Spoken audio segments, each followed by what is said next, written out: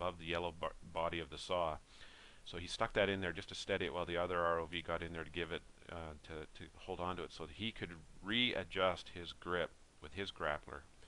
And um, very, very fascinating here. The, I'm not sure what kind of pressure those grappler hands can exert, but it, it's almost like they've got it at the tip of their fingers, and you'd think, wow, that's um, that's not very uh, good. You know, not not a lot of strength in that grip, at least for a kickback. If the if the saw were a torque, you think it just you know it would be easy to to um, break that grip. You can see if he stops moving around. Interesting. So I would think that they want to grip it higher on the gripping plate and uh, with a little more um, ability to prevent it from torquing out of the, the grappler.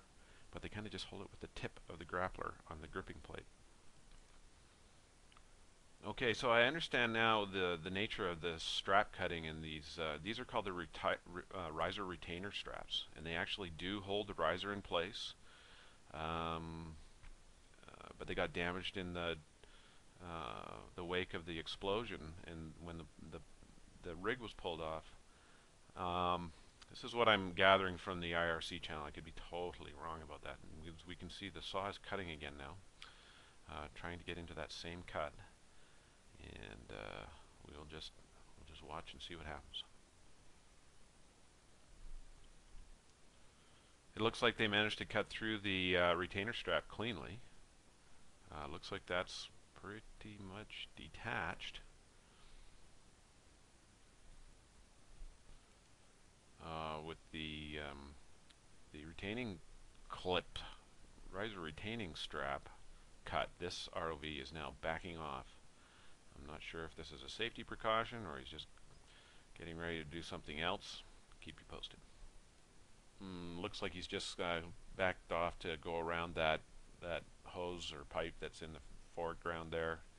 He's going around probably to move in for another cut on the retaining straps on the retaining strap which holds the four um, claw-like pieces that are part of the retaining system this uh, this angle here, you can see the other ROV on the right with the lights. It's it's truly something out of a, a science fiction movie, uh, something that uh, Ridley Scott might have done, illustrated by Geiger. It's surreal in its in its effect, at least upon me. Um, a soundtrack uh, added to this would certainly make it a, complete the effect, and I'm sure there's going to be a movie made of this. Um, the saw operators, as one person said in the um, chat channel, that they probably were having a smoke at this point just after that last saw cut. Just a sort of a uh, post-cut, uh, post-coital cutting uh, cigarette. I'm sorry for my uh, terminology, but I just think it's so funny in some way. And if you can't laugh about some of these things, I'm certain you know you, all you could really do is cry. So he's getting a view now of the uh, the next part of the strap that they're going to cut.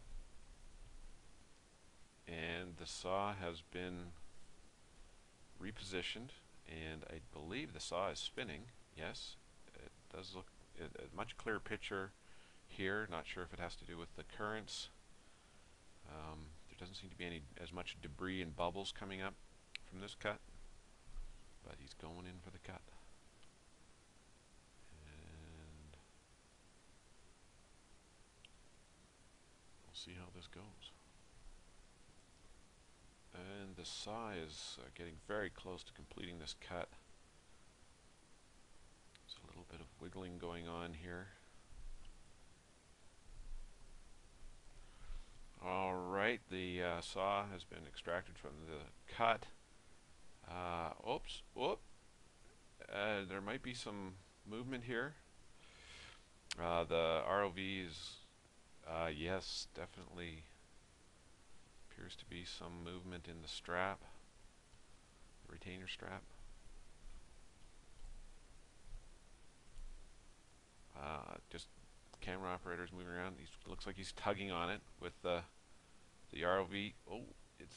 I don't think that cut is completely through. Might be. Oh, this is exciting. Whoa, what's going on here? Getting some some oil. Whoa, yes, that thing is definitely coming off at some point here. I mean, it's loose.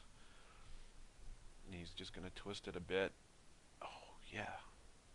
Oh, and this is certainly changing the nature of the uh, of the oil that's coming out of the riser. It's it's somewhat obscuring their vision.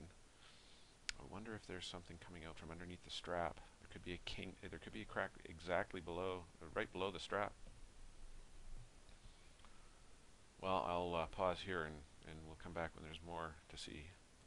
It looks like they're going to bring the saw in to complete the cut. They've tried to wiggle the uh, retainer strap off. It's not. It's not coming off.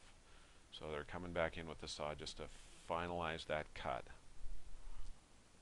Um, you can you can see in this shot here. There's a looks like a sort of a gasket flapping around. Must have been underneath the retaining strap. A sort of a uh, just a sort of a foam a layer that might have been stuck in place. Provides some sort of um, separation between the the metal of the strap from the metal of the riser and it appears as if the saw is actually uh, running and trying to saw in a different point to the right of the initial cut. Uh, there might be a bolt there. Uh, not quite sure why, but they've probably determined that they need to cut on the other side of that. There it is. The uh, strap has been cut. And this ROV is backing off with its prize, which is one half of the retaining, the riser retaining strap. That is pretty cool.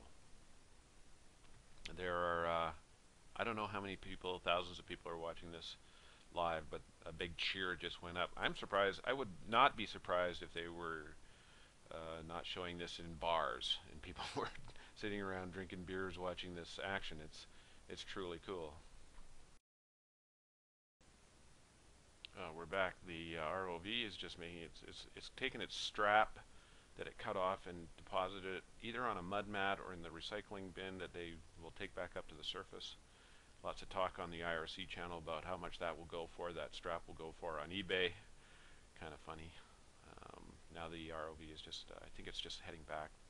Actually, we did see the the, the BOP stack in its view again, so I'm not sure already. And and then it it's gone back to this sort of black outer space view. So we'll uh, we'll come back when there's something more going on.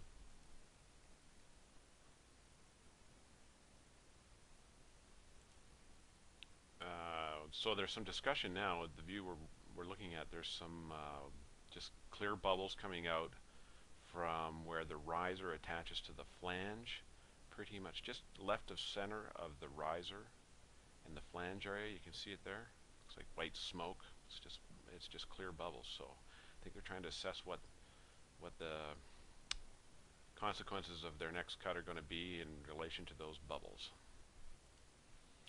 I guess what, and as I view what's being said on the IRC channel is, and the the concern is, is how could that just be gas, uh, clear gas coming through there when what we have coming up through the the pipe is a mixture of crude oil and methane and this just seems to be pure, you know, either oxygen or nitrogen or some uh, gas that has nothing to do with the crude. So it's interesting. It, it might be it might be methane that's somehow being compressed into an area and coming out there. It is possible.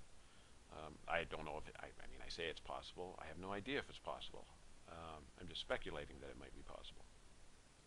Um, not sure why the um, operator zoomed in on that. I, maybe some sort of acoustical sensor or something.